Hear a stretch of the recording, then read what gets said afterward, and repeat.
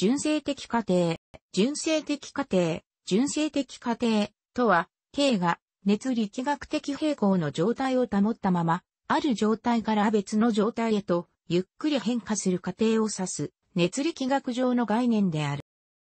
ボイルシャルルの法則が常に成り立つ気体として、熱力学ではしばしば理想気体が取り扱われる。理想気体に対しては、ボイルシャルルの法則が完全な等式として成立し、体積、圧力、温度について以下の関係を満たす。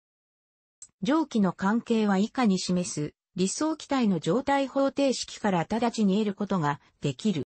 ここでは物質量は気体定数である。これらの式が成り立つのは気体が平行の状態にあるときに限られる。平行とは時間が経っても K の状態が変化しないことを言う。物体の温度や圧力などが変化する過程では変化の途中の段階では状態が連続的に変わっているため一般的には平行とみなせない。したがって、これらの式は常に成り立つとは限らない。しかし、温度や圧力の変化を非常にゆっくりと行えば、変化の途中段階を含めてすべて平行として取り扱うことができる。このような過程が純正的過程である。熱力学的平行には、力学的平行、熱平行、科学的平行が含まれる。したがって、経全体の圧力が均一な状態が保持できる程度にゆっくりと行われる膨張、圧縮や経内に温度不均一が生じない程度にゆっくりと行われる加熱、冷却は純正的変化とみなすことができる。また、経内で化学変化、または成分物質の物質移動が生じる場合は、各成分の化学ポテンシャルが均一な状態を保持、できる程度にゆっくりと生じる変化は、純正的過程であるとみなすことができる。ある状態変化においてが満たされれば、この変化は可逆過程となるただし文献によって用語の定義に相違や曖昧さがあり、可逆過程と純正的過程を同義に使う文献も。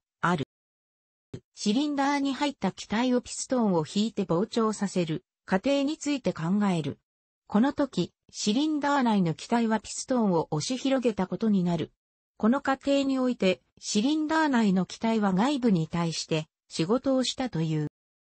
そして熱力学では、この時シリンダー内の気体がした仕事は、で表せる。は、シリンダー内の気体によって広がった分の体積である。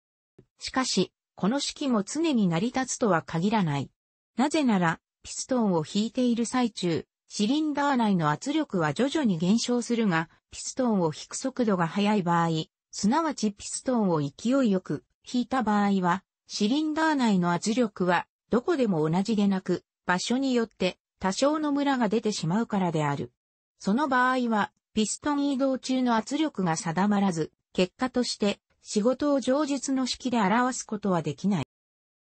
この式が成り立つのは、ピストンを引いている間、気体が常に平行の状態にある時である。そこで、純正的過程の考え方が適用される。すなわち、ピストンを動かす速さを可能な限り遅くし、無限の時間をかけて、シリンダー内の体積を変化させるようにする。こうすることで、ピストンの移動中も含めたすべての状態において、平行と得ることができ、式が成立する。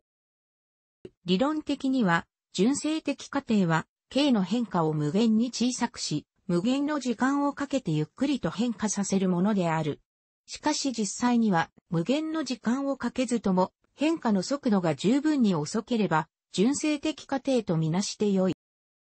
ある過程が純正的かどうかは緩和時間によって判断される。K の変化にかかる時間が緩和時間より短ければ純正的過程とはみなせないが、より長ければ純正的過程とみなすことができる。シリンダー内の気体をピストンを引いて膨張させる例で言うと、ピストンを引く速さが音速よりも遅ければ、K の変化にかかる時間はより長くなり、純正的過程として扱える。熱力学において純正的過程という概念を最初に使用したのは、フランスの科学者、ニコラ・レオナール・サディカルノーである。カルノーは1824年に出版した著書、火の動力、及び、この動力を発生させるに適した機関についての考察において、熱から効率的に動力を生み出す手法について論じた。当時の熱理論は、カロリック説、熱素説が主流であったため、カルノーもこの説をもとに論を進めた。カロリック説とは、熱とは、カロリック、熱素と呼ばれる物質が原因であるという説である。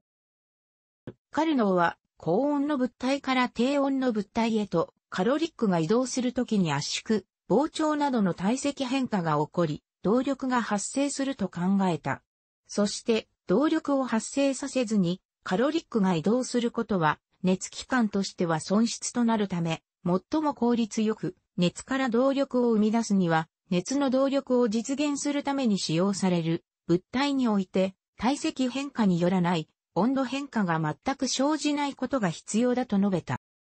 これを踏まえた上で、カルノーは蒸気が入ったピストンを高温源と接触させ、蒸気が高温源からカロリックをもらって膨張する過程を考えた。この時、高温源と蒸気の間に温度差があると、カロリックが高温源から蒸気へ直接移動して、両者の温度が釣り合うことになるが、これはカルノーの考える体積変化によらない温度変化にあるため、動力の損失となる。したがって、最大効率の動力を得るためには、温度変化が起こらないこと、すなわち高温源と蒸気は同じ温度であることが必要となる。しかし現実的には、同じ温度では、カロリックは移動しないので、カルノーは次のように述べた。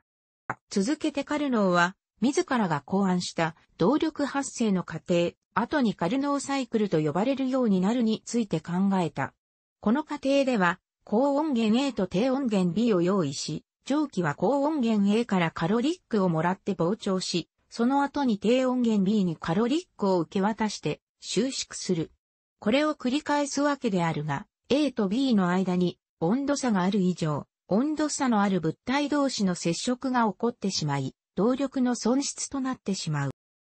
これを解決させるため、カルノーは次のように考えた。温度差が無限に小さい場合、K の変化は無限にゆっくり進むので、この過程は純正的過程となる。カルノーの論文は発表当時こそほとんど話題にならなかったが、後にエミール・クラペーロンやウィリアム・トムソン、ケルビン教によって紹介され、広く知られるようになった。論文でカルノーが使用したカロリック説は熱力学の発展とともに否定された純正的過程という発想はその後熱力学における基本的な考え方となった。楽しくご覧になりましたら購読と良いです。クリックしてください。